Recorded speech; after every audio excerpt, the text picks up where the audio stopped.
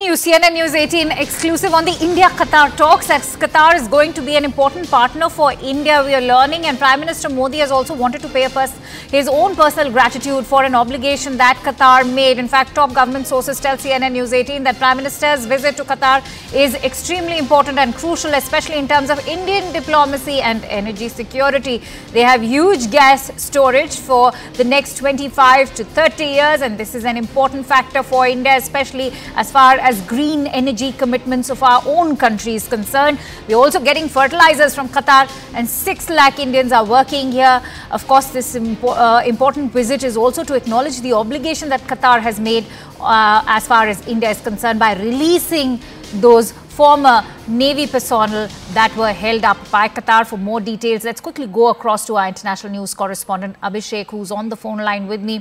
Abhishek, of course, uh, there's much gratitude uh, from India, which of course is uh, currently being embodied by our own Prime Minister over there. But having said that, how could India and Qatar sort of strengthen this bilateral uh, relationship further?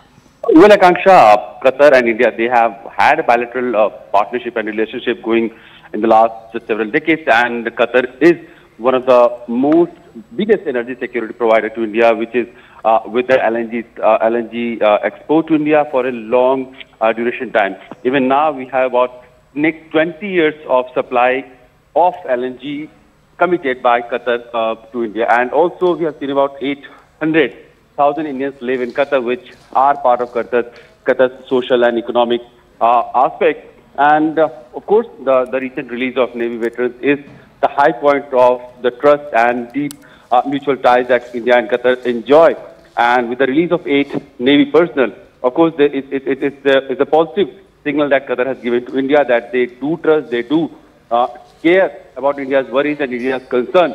And uh, with, the, with the latest visit of Prime Minister, these uh, confidence building measures is going to strengthen further the bilateral ties. Of course, Prime Minister will be discussing about the other regional issues also, which includes uh, the latest tension in the Gulf of Aden and uh, West Asia that has emerged out of Israel-Hamas conflict as well.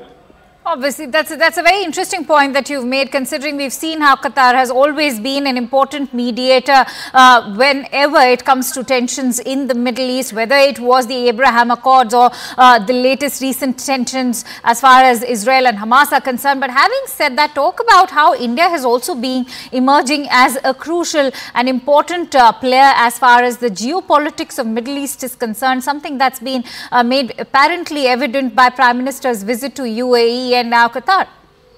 Well, Akansha, see, uh, ever since Israel-Hamas conflict, which has now clearly spilled over, and the last two to three months, we have seen multiple attacks happening on uh, ships, cargoes passing through Gulf of Aden or Red Sea. Uh, India has sent about 10 naval ships in that region, which is not only escorting ships safely from that part, but also they have deterred many pirate attempts.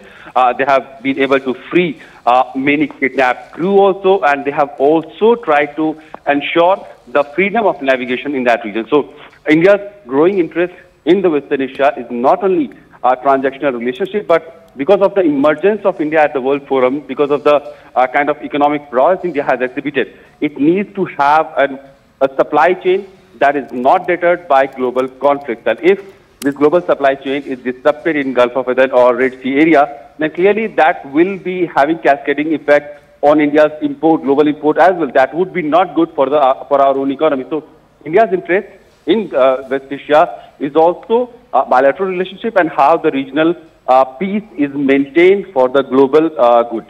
All right, many thanks to you, Abhishek, for bringing in all those inputs. In